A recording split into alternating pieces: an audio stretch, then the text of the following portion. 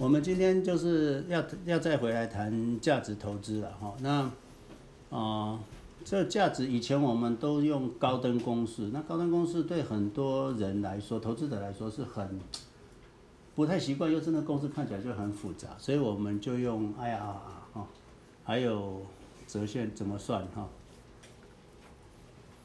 那这里的话，你看哈，我们先看，很多人都说这个现在价股价这么高，还可不可以买？OK，那我就说、啊可以买，可是很多人还会问，那 James 现在价钱是两百七，那如果今天是什么价钱，你会你就不会那么果断的叫我们买？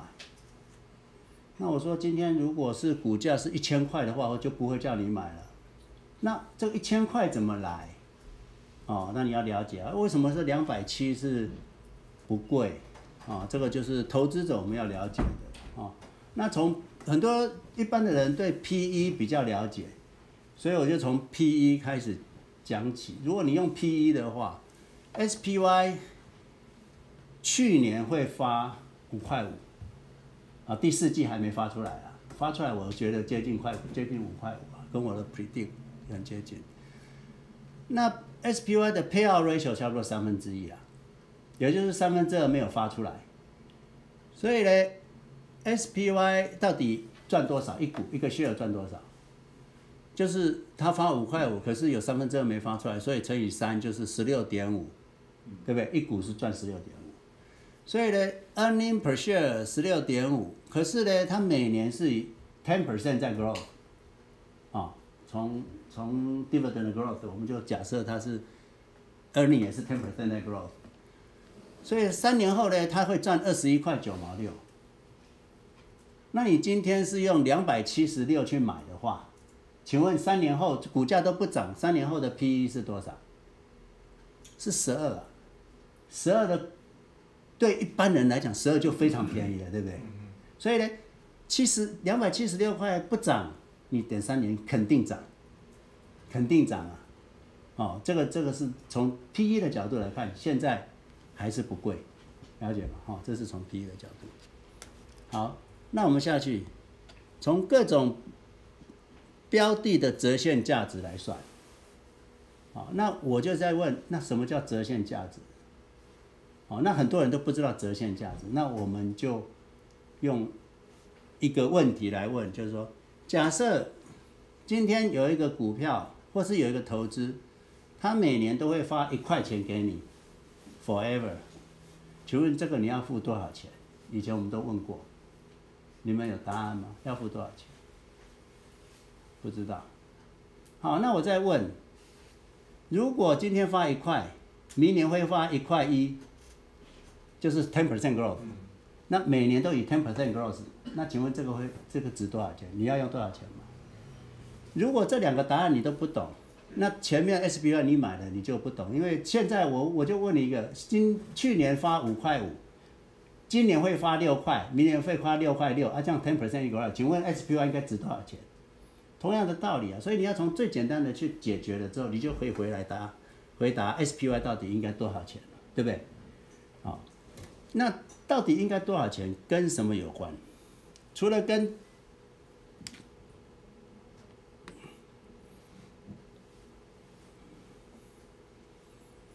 除了跟那个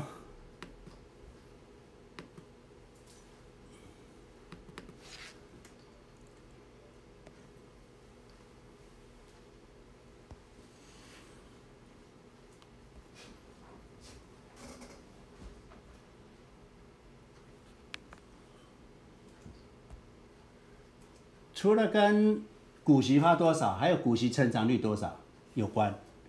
好，那今天我们看一个，就是假设假设今天发一块，那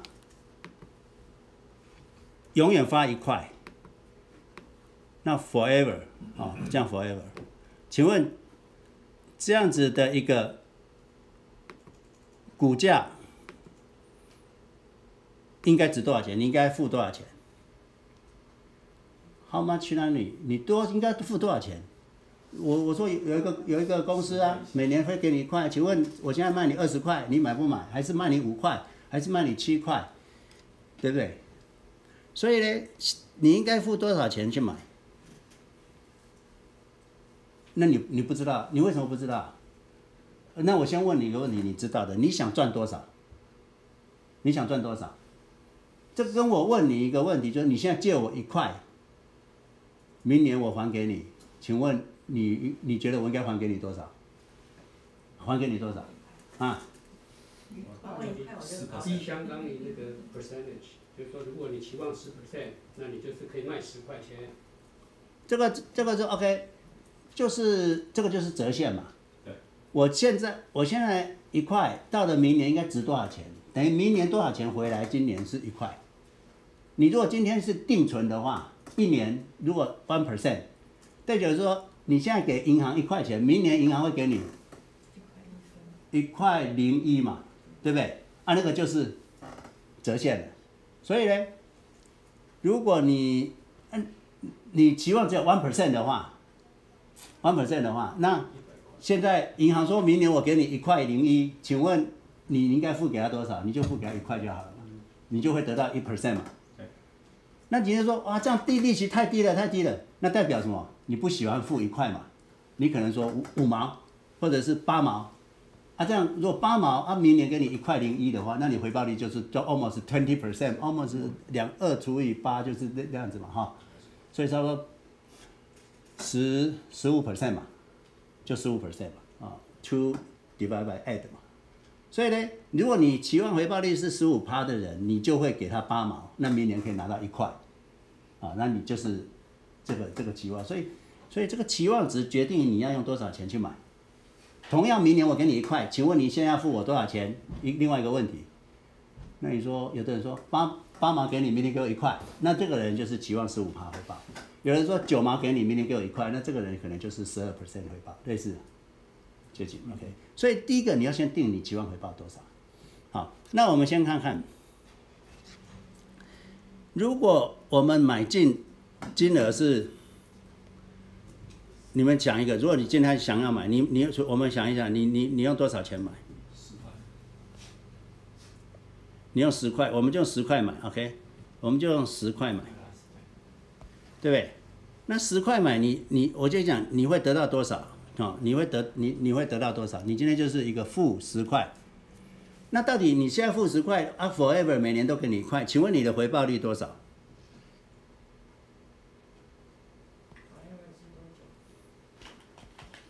哦，你就用 IRR 去算，OK？你就用 IRR 去算，哦，IRR 从那个十块。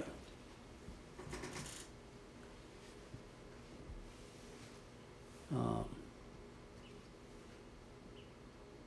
，I R R B 五到 B 六十五，我我用六十年算的哈，B 五到 B 六十六，六十年六六六十五啊，OK，好，OK，那。就会是多少？等于 IRR，对不对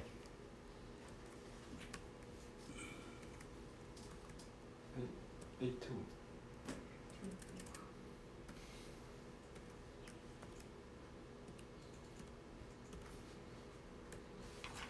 十八。所以呢，如果每年给你一块，你现在付他十块，你就会得到十八。期望回报率你就是十八。那你说？可是我想要十五趴，那我应该现在给他多少？你想要十五十五 percent 的回报，你应该给他多少？这个就是你股价等到多少的时候你才要买啊？哦，那你就用 IR 去看，这里你就改啊，改十块，十块你改成多少？八块。哦，你就用八块去买。假设你用八块去买，啊，你用八块去买。你付八块，那就十二趴嘛，你就得到一个十二 percent 嘛，要懂了吗？啊，所以十二点五，所以呢，巴菲特你说哎十块十块可以买啊，就买啊。可是巴菲特说等等等等，十块太贵了，对不对？因为巴菲特期望值是二十的话，哦，巴菲特姐不会用八块，对不对？那巴菲特可能会用多少？哦，他如果要二十 percent 的话，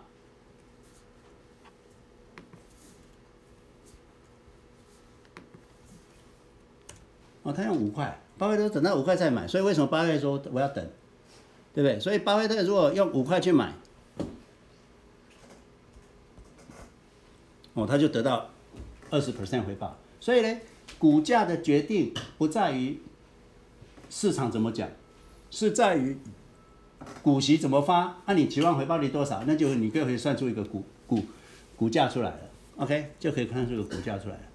所以呢，我们今天回来看，我这里已经做好的所有不同回不同不同投资的回报率。OK，假设我们都把回报率都以十 percent 来来回都都期望都一样都十 percent，那请问这些投资标的值多少钱？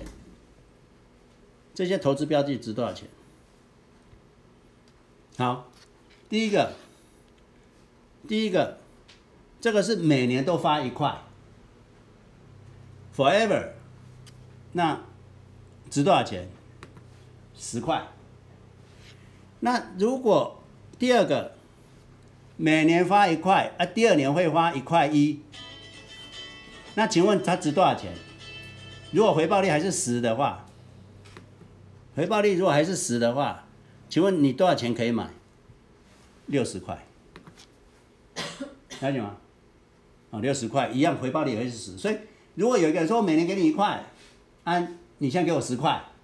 跟另外一个人说，我每年每年给你现在一块，明年一块一哈，这样子给你，那你现在给他六十块，两个是同样回报率的，一样的，所以很多人就以为说啊，P E 好贵啊，那个现在六十块给你买，你现在只发一块一，那你你现在只赚一块一，那你现在 P E 六十好贵好贵，其实这两个是同一个东西啊，了解了吗？嗯，六十块每年发一块一，一块两毛一，一块三毛三，一块四毛六，这样一直下去。跟每年都发一块，你又是付十块，这两个是同一个东西啊，了解吗？啊，同一个同一个。好，那回来看，我们如果只谈 SPY 的股息，SPY 如果只是股息的话，我们不要谈它赚多少，我们谈不要谈它现金流，SPY 的股息多少，去算它的价值。SPY 今明今年会发六块零五了，今年会发六块零五了，那明年会再十趴就一直下去。对不对？就这样一直下去，六块六毛六，再来七块三毛二，继续这样下去的话，SPY 值多少钱？如果十趴回报的话，你用多少钱买？你会得到十 ten percent 的回报，三百三嘛。你现在三百三去买，你就还是会有十 percent 回报。所以呢，现在卖你两百七十六，贵不贵？现在市场上拿 ten percent 的回报不容易啊，对不对？所以有十有回报三百三，应该也可以去买啊。可是市场还比这个便宜，市场现在多少？两百七十六。你回报率有十点七啊，了解吗？你回报率有十点七啊。哦，你如果把它这个三百三改成两百七十六，哦，你就有十点七的回报。所以呢，比三百三买的时候好。了解吗？哦，所以现在贵不贵？不贵。好，那如果你用 SPY 用现金流去算，现金流什么叫现金流？就是他赚多少钱嘛，真的赚多少钱嘛，乘三嘛，对不对？乘三嘛，自由现金流它乘三啊，他说赚多少钱嘛，net 嘛。其实这个还算保守，因为我们等一下会做讲自由现金流怎么算。那这个十八块一毛五，他真正是赚十八块一毛，只是没没给你啊。你你今天开一个冰淇淋店，赚了十万块，股东发五万块就好，另外五万块我们留着，可以过几年可以开另外一家店。那这个五万块还是股东的嘛？哦，还是股东的嘛？所以这个是真正你股东拿到赚到的钱。那如果这样子继续成十 percent 成长的话，你如果回报率是股价是 S P I 是一千块嘞，了解了吗？那种 H S P I 现在是应该一千块，你的长期回报都应该有十啊。啊，所以呢，可是这样子的话不值得去投资的，为什么？就是别的地方不用这个，像这种就现这个这个这个，如果有你去找得到 dividend 都给你发出来，可以十块的，你何必去买这个一千块的？不需要嘛。所以我们现在买的两百七十六是真正我们都可以拿到的，还没有藏在公司里面的。那你如果是一千块去买的话，是连放在公司里把它算成你是你的，那这样就有一千块。所以呢，我的意思就是说，如果现在股价涨到一千块的时候，今天明礼拜一如果是一千块的时候，你问我说要不要买，我说嗯不要买了啦，哦，这个太这样子的投资很多哦，不需要去冒这个风险，可以拿到的现拿到的呃都有十趴了，何必去投资一个啊以后才会拿到的东西？所以为什么说呃一千块就贵了，一千块就不贵了就贵了啊？因为这样子的呃标的在市面上就很多。好，那同样的状况我们就回来看那。阿莫总自如果用，等一下我们算自由现金流怎么算，我就跟你们讲。可是如果我们现在先看说，如果从自由现金流来看，阿莫总其实值三千块，哦，阿莫总是值三千块，OK，自由现金流。如果明天阿莫总是三千块，我就叫你不要买了，了解这意思了吗？可是现在是多少？一千三而已啊，所以还有将近二点五倍嘛，所以呢？一般泡沫都会比价值乘三到五啊。如果今天我们算出来 SPY 是两百七十六的话，那三倍的话，将近将近多少？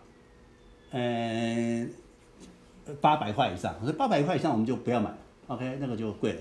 阿玛总如果今天一千三两倍三倍，那那就不太贵了，不要买，OK。可是你算出来如果以价值来算出来，你你像这个用自由现金流算，呃。股价，你如果比这个接近这个，不要买了，啊，因为自由现金流是把未实现的利益都把它实现了，那你干嘛去投资一个未实现利益把它实现啊？那这个不要哈。所以呢，这个就是，那债券一百块买，你要每年发十块的债券，你才能去买，所以债券值得买，不值得买，一点都不值得买。你要什么？现在债券利率多少？二点八而已啊，对不对？那二点八，你的回报率才一点九啊，你知道意思吗？你不要以为你你你你你债券你债券你现在拿每年拿十块，你你以为你是你你你以为你是回报率二点八，没有一点九啊，因为六十年的二点八其实是三十年后的二点八，其实转回来是不值二点八，所以你的回报率其实只有一点九啊，债券啊，了解吗？所以很多人说我不要去投资债券，这个回报率这么低。随便找都有，你不要去投资债券，OK？不要投资。好，那 Apple 值多少钱？六百六。那现在 Apple 多少？所以你看它五倍啊，所以 Apple 五倍啊，就五百多你就不要买。现在价价值还还有啊。SQ 两百九，OK？SQ 如果今天明礼拜一两百九，你就不要买了，明白吗？所以呢，XQ 现在四十。乘以五，两百，哦，啊，它等于 X 就相对于它的价值还相对很便宜，啊，相对很便宜，整天几倍，快六倍嘛，啊，不有七倍，七四二十八嘛，快七倍，NVIDIA 呢，六千多啊，NVIDIA 的现自由现金流的价值有六千三百，那为什么 NVIDIA 的价值会那么高？因为它的成长率。比较高了，你看，NVIDIA 的我用二十成长，那其实 NVIDIA 成长率是更高啊，七十几还一百多啊，那我只是用二十，对不对？那已经很保守了，可是呃没有，好像是三十五了，忘记了 NVIDIA 的成长，OK，所以我用二十算，那 SQ 的成长我用多少？也二十算，那 Apple 的成长我用 ten percent 算，OK，啊，这个 ten percent 算，那那 Amazon 我用十三 percent 算。都不是很高，都不不是很高，OK，都不是很高，所以算出来都有这个价值，了解吗？所以价值投资者是一定要知道你的价值啊。现在的东西不贵，不贵，哦，了解吗？哦，所以这个是啊自由现金流的算法。那我们回来看，哦，这个整个整个自由现金流的哈，好，那今天回来算看我们的折现价值的这个自由现金流的公式啊，那你可以记住，可以不可以？营运现金流加上利息支出，就是利息把它拿回来当做你的自由现金流，因为那个啊，再减掉资本支出，OK，资本支出因为你要营运嘛，所以你要资本支出，不然明年你就明明年你就没办法做生意啦。资本支出是相当于，就是你如果不这个支出，以后这个产业就没办法 forever，所以这个资本支出是 must。那好像你就是说，OK，你今年赚十万，那可是你如果再不买一个冰箱，你明年这个冰箱会坏掉啊！你你要买个冰箱，不然你就这个生意就做不下去了啊！冰淇淋店做不下去了哦，那你这个资本支出就必要啊！必要的时候，这个就是让你营运能够维持的啊。好。所以呢，这个就是自由现金流。那自由现金流就是等于股东的权益，股东可以拿到的。自由现金流其实可以分出来的，也可以不分的。所以自由现金流就是董事会可以决定我们要怎么用的，因为呃那个是闲可以闲置在那边的，也可以保留就留在那边的，也可以发到发发股息的，股利的，对不对？啊，这个是自由现金流。所以呢，自由现金流就是今年赚出来的，就是。今年营运现金流加上今年的利息支出，再减掉资本支出啊，啊，这个就是可以。所以我们刚刚看到的 earning 哈，其实是里面还有很多 investment 啊，很多被扣掉了，你知道吗？啊，你知道吗？哈，那个、那个、那个 interest 啊，还有 tax 啊，都扣掉啊。所以这个是公司赚钱的能力啊，赚赚钱的能力。好。那我们来看看 Amazon，好，那怎么达到刚刚那些数字？怎么拿到那刚刚那些数字？你往下看哈，我们先不要看公司，现在你去那个雅虎里面的 Cash Flow，你去看这个二零一六年，这里就有一个，就有这里就有一个那个，啊，这里就有一个 Total Cash Flow from Operation，就是刚刚的营运资本现自由呃营运现金流嘛。它就有一个数字啊，这个叫做十六个 billion 营运现金流。你看，它从 earning 从 net earning 上面这个 net earning 二三七一最上面的那个从呃 income statement 过来的啊，再加上这些 depreciation，depreciation 就是现金嘛，那可以可以拿来的哈，就是嘟嘟嘟嘟出来，这个就是营运现金流。所以 Amazon 去年多了十六个 B 点的营运现金流。可是呢，它有一个 capital expenditure，就是说花出去的六个 billion，六点七个 B 点在下面这个六点七个 B 点，OK，所以呢，这个就是 Amazon 的两个数字，营运现金流跟资嗯的资本支出，OK，那再往下，你去看 income statement，Amazon income statement，它就有个利息支出。八四八四，可是它的 income before tax 是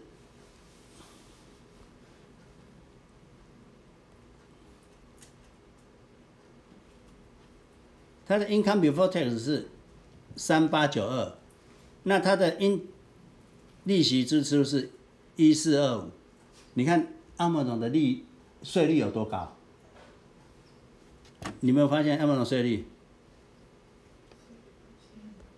三十几趴，三 Amazon 税率很高啊，啊？